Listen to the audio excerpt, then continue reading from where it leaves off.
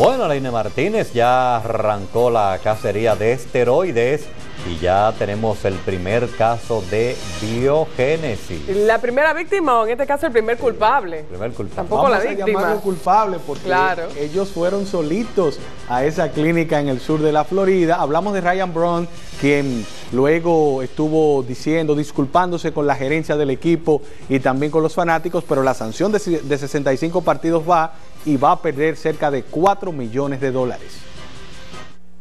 Ryan Brown fue suspendido por el resto de la temporada por alegadamente violar el programa de sustancias prohibidas de las grandes ligas, informó el comisionado Boxelli en un comunicado de prensa. La sanción tiene efecto inmediato pues el toletero decidió aceptar la suspensión y no apelar. En ese tiempo Brown no recibirá su salario por lo que perderá 3,4 millones de dólares. Brown es el primer pelotero que suspenden por el caso de la clínica Biogénesis de Miami. Se espera que la MLB podría suspender a más de 20 peloteros en los próximos días, entre los que se encuentran varios dominicanos. Varios medios han publicado en España la contratación de Gerardo Martino como el nuevo entrenador del Barcelona. Así lo aseguran el diario Marca de Madrid y el Sport. Los diarios catalanes Sport y Mundo Deportivo habían adelantado que en el seno del plantel daban por hecho que Martino será el reemplazante de Tito Vilanova. Las negociaciones de Martino con el Barcelona se realizan por teleconferencia y según dan cuenta los medios españoles, las conversaciones giran en torno a los colaboradores del entrenador, pues el Rosalino quiere llevarse a todos sus auxiliares. El estelar jugador de la NBA, Tim Duncan, ha sido acusado por su esposa de mantener una relación paralela a su matrimonio con un hombre. La que pronto será su exmujer había explicado en el portal yardbarker.com que Duncan es bisexual y hace años que tiene una relación con un ex compañero de universidad. Duncan habría conocido a esa persona durante su etapa universitaria en Wake Forest, donde estudió y jugó entre 1993 y el 97. Los dos habrían vivido juntos cuatro años e incluso compartieron techo los dos primeros años de su matrimonio, entre Tim y Amy, siempre según la misma fuente.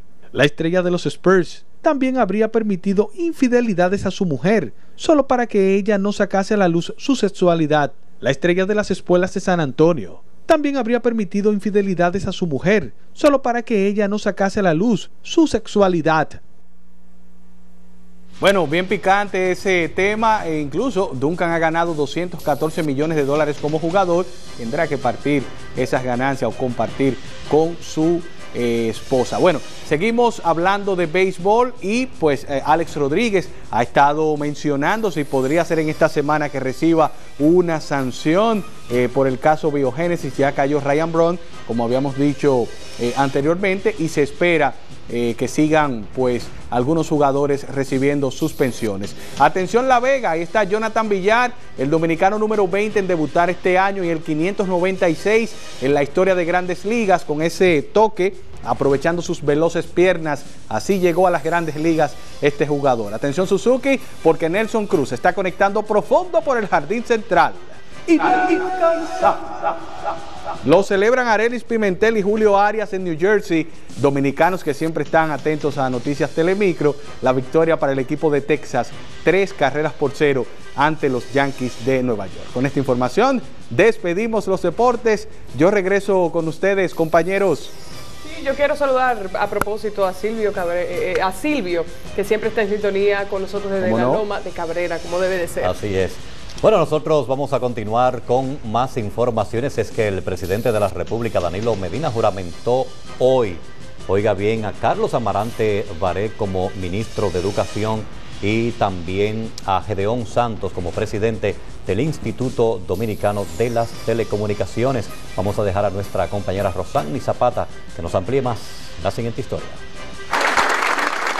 El nuevo ministro de Educación, Carlos Amarante Baret, fue posicionado por el ministro de la Presidencia, Gustavo Montalvo, quien en nombre del presidente Danilo Medina agradeció el trabajo que realizó la profesora Josefina Pimentel en esa cartera.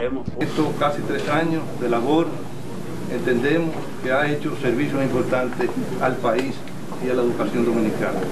En nombre del presidente de la República y el nuestro, nuestro agradecimiento y sabemos que seguirá combatiendo en la fila de la educación dominicana. Quiero que usted le transmita mi profunda gratitud y la certeza de que apoyaremos al nuevo ministro en lo que él requiera y que estamos a la disposición para seguir impulsando el fortalecimiento de la educación dominicana. Tras ser juramentado, el ministro de Educación se comprometió a ejecutar un plan piloto para establecer centros de informáticas en las escuelas. Rosani Zapata, Noticias Telemicro.